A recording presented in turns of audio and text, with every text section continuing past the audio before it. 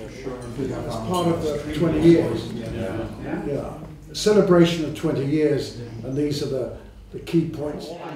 Well, I think biotechnology has had its ups and downs over the last 20 years, but I think overall it's been of considerable benefit, and uh, the benefits have been growing over the years. Uh, if you ask me what I'm particularly pleased about, it's something quite recent, and that is the development of blight resistant potatoes. Uh, potato blight is a terrible disease.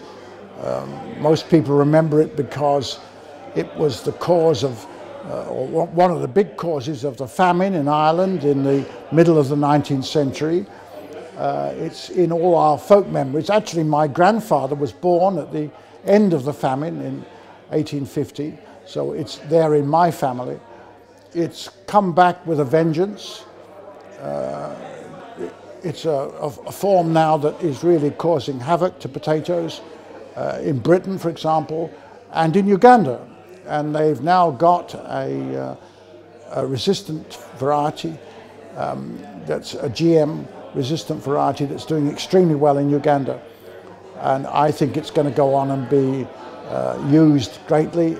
I think we'll have uh, resistant, uh, blight resistant potatoes in, uh, released in Britain in the next couple of years.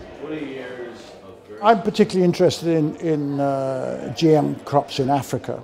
In uh, Uganda, they have about six different varieties of GM crop in field trials at the moment. And in fact, Uganda is leading the world, or at any rate, leading Africa in its GM research. Um, I want to see that come to fruition and them uh, release GM crops in Uganda. But the other big challenge, of course, is to ensure that other African countries have uh, the right kind of legislation that ensures the safety of GM crops, but then allows them to be released